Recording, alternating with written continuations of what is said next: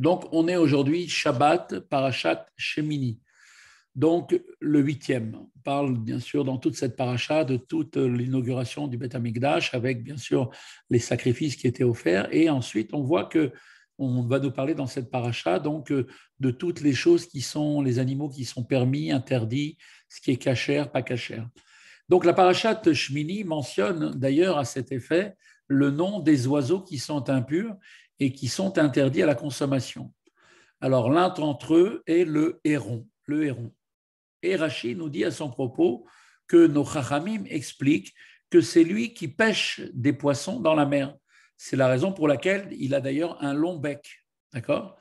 Et ce qui veut dire que le héron, par nature, se rend dans la mer, chasse les poissons et va ensuite les manger. On pourrait donc penser ici qu'il y a là un phénomène purement naturel sans aucune signification profonde. La Gemara relate à propos de cet oiseau que lorsque Rabbi Yochanan voyait un héron, alors il citait un verset des Teilim qui était le suivant, qui disait Tes jugements, Dieu, sont jusque dans l'abîme profond. Alors pourquoi, pourquoi disait-il cela? Alors Rachi explique là-bas dans les Teilim Tes jugements à Dieu sont rendus jusque dans l'abîme profonde, c'est-à-dire que tu fais intervenir un héron pour juger et pour porter ta vengeance auprès des poissons de la mer, afin de tuer ceux qui sont prêts à mourir.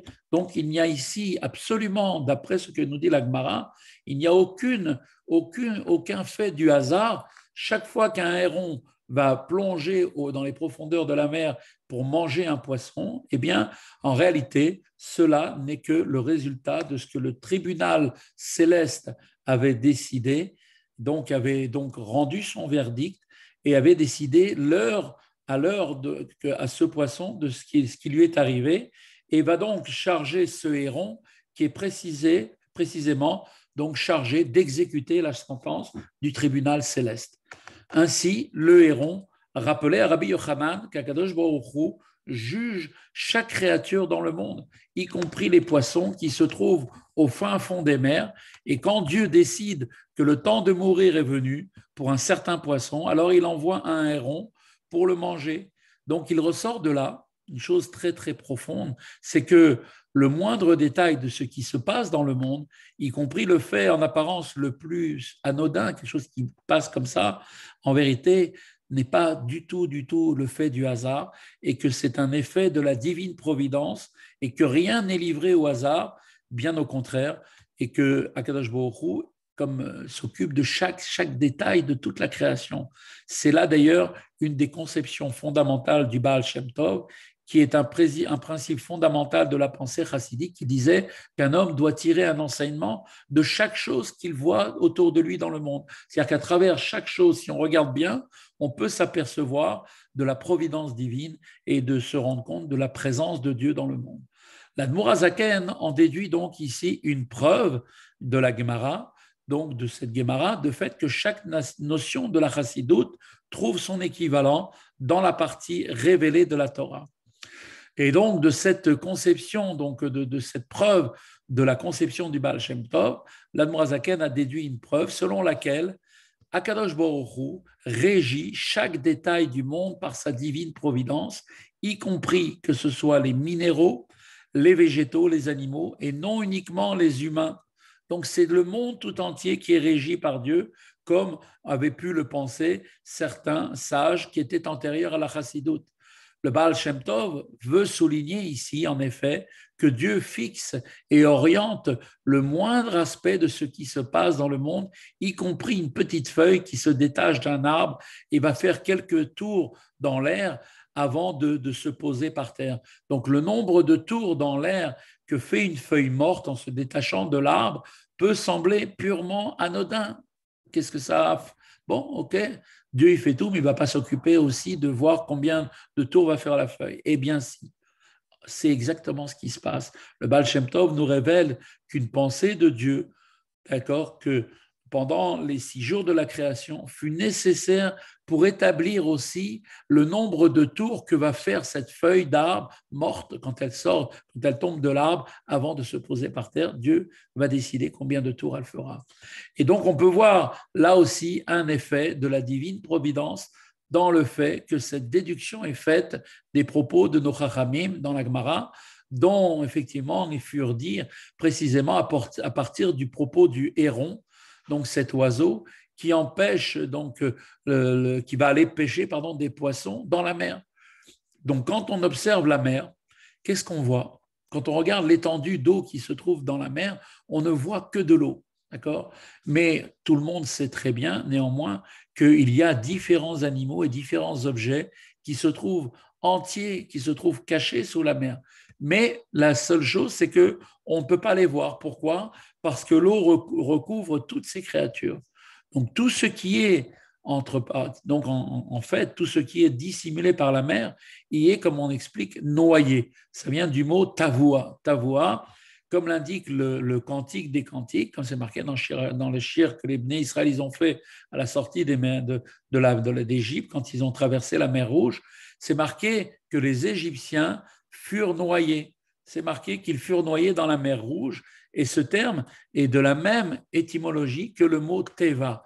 Teva, qui aussi veut dire la nature. Et donc, qu'est-ce que cela vient nous apprendre la, notion de noyade et la notion de teva, qui veut dire la nature? Eh bien, cela nous apprend que la nature est de fait la nature du monde, en fait, a cette particularité de dissimuler, comme la mer, et de noyer, en fait, la providence divine qui n'apparaît pas au point qu'elle n'est pas du tout visible. Elle est comme cachée par l'eau qui recouvre tout.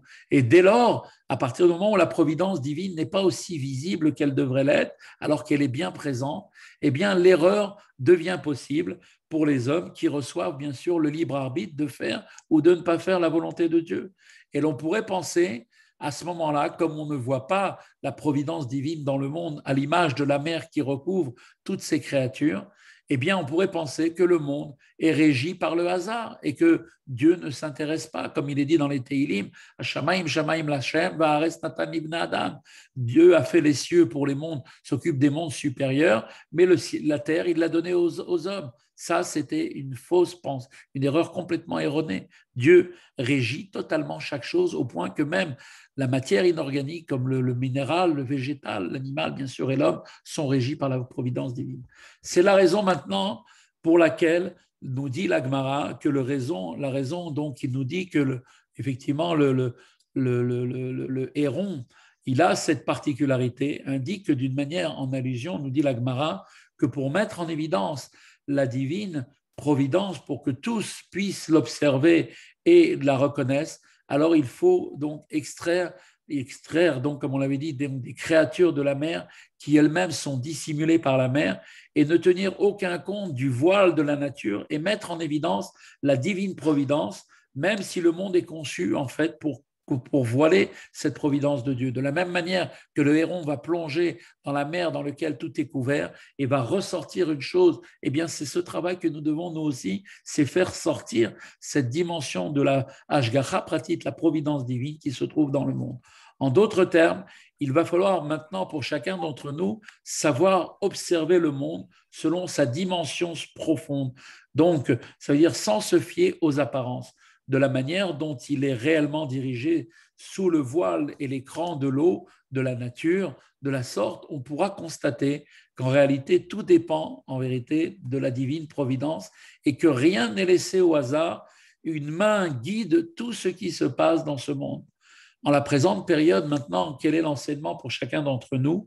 Eh bien, dans notre période de l'exil, où là, l'obscurité est encore beaucoup plus intense qu'avant, eh bien, on peut effectivement se rendre compte qu'il n'est pas du tout facile, donc il n'est pas aisé du tout de, de, de, malheureusement, donc euh, d'observer la dimension profonde de chaque, de, chaque, euh, en fait, de chaque situation. En effet, le mot olam en hébreu est de la même étymologie que le mot elem, qui veut dire le voile, et donc de fait, le monde, de par nature, occulte et dissimule la vérité, mais tout cela va avoir une fin très bientôt, comme on l'a dit, comme le, rabbi l'a dit, comme tous les chachamim l'ont dit, ce sera la délivrance véritable et complète. Dès lors, à ce moment-là, la vérité apparaîtra à l'évidence, et selon les termes du prophète, comme il est dit, l'honneur de Dieu, Rvod Hashem, à ce moment-là, la gloire de Dieu se révélera, et toute chair ensemble verra que la bouche de l'Éternel parle